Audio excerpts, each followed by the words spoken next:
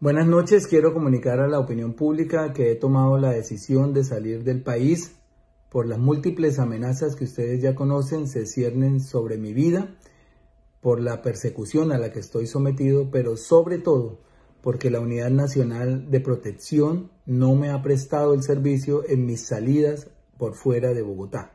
Hace 15 días denuncié cómo esta institución me respondió que no tenía disponibilidad para prestarme el servicio en mi visita a Barranquilla al lanzamiento del pacto histórico en esta ciudad. Pues bien, he vuelto a Barranquilla este fin de semana y me han respondido de la misma manera.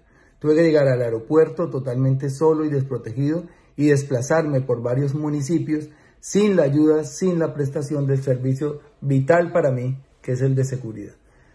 De modo que mientras el Congreso y la UNP se ponen de acuerdo en quién debe prestarme esa, esa protección, he decidido salir del país y he convenido con el presidente del Senado que tomaré tanto las comisiones como las plenarias de manera virtual, como lo están haciendo hoy la mayoría del Congreso, para no abandonar mi cargo, para seguir con mis funciones.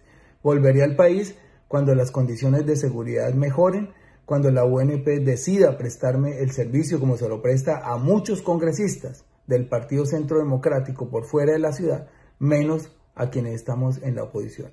También he pedido medidas cautelares a la CIDH.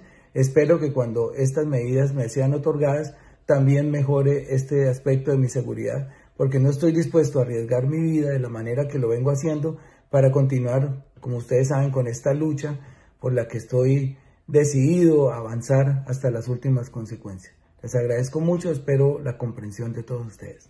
Gracias.